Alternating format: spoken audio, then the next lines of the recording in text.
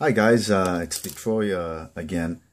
Today I'll be showing you video number 8 of the Japanese Imperial Air Force. Okay, uh, some of the units that you see here I painted quite uh, a while ago.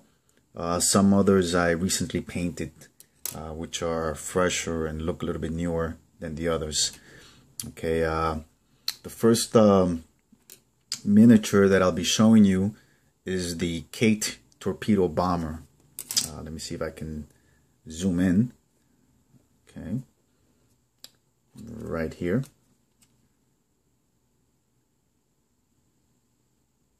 All right.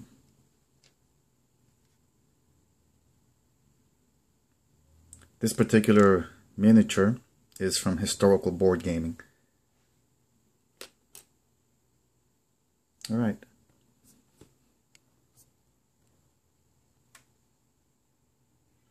Right, the next one is a K-51 transport airplane, which is the one all the way in the back, right over here.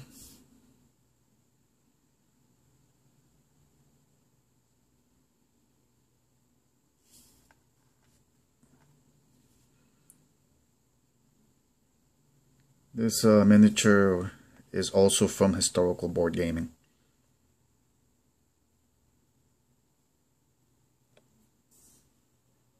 Okay, my next uh, miniatures are actually from the original board game and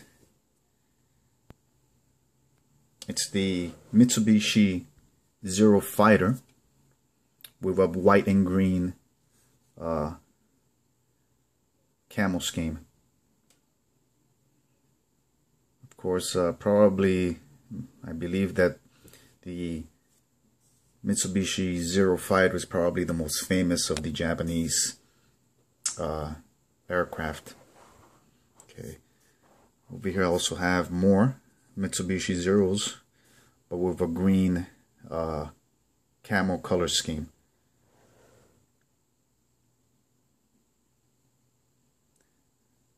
These uh, Zero fighters I, I painted like about three years ago when I first started painting. They're a little bit worn out because uh, they've seen uh, a lot of action, a lot of use in the past uh, three years or so.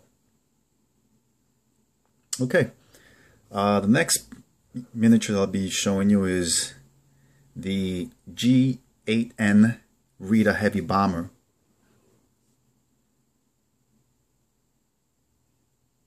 Okay.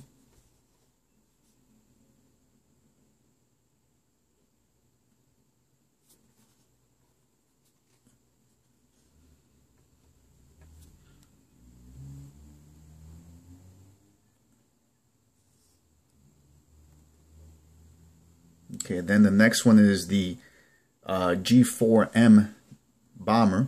By the way, uh, the heavy bomber, this is uh, made by Historical Board Gaming.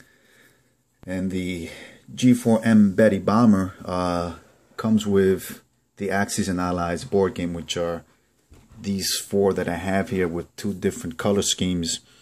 Um, obviously, one is a, a gray, I mean, correction, yes, yes, gray color scheme with a uh, with the red decals of the Japanese emblem, and here you have uh, green uh, color scheme. Okay. Okay. Um, the next are the Ki-61 Tony fighters which were fighters that were uh, basically land-based units for the Japanese army. Unlike the Zero that was basically for the Japanese Navy. Okay, these are made by Historical Board Gaming also. All right. now these here, with the white color scheme, uh, these are miniatures that originally came with the Axis and Allies board game, which I painted a while ago with a, with a white camel scheme.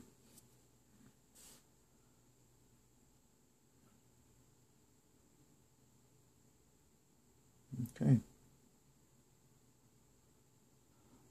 All right, over here, these are Japanese light bombers. I'm not quite sure what type of fire bombers these were but I believe they were Nakajima light bombers. I have uh, four of them. Okay, three of them are with a green camel color scheme, and the one here is a combined uh, color scheme with uh, green uh, wings, tail wing, and white uh, fuselage.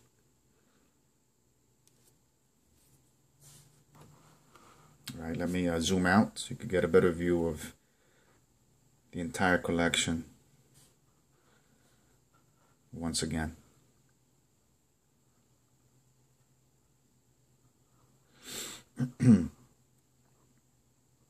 okay guys, uh, this is it for video number 8. Um,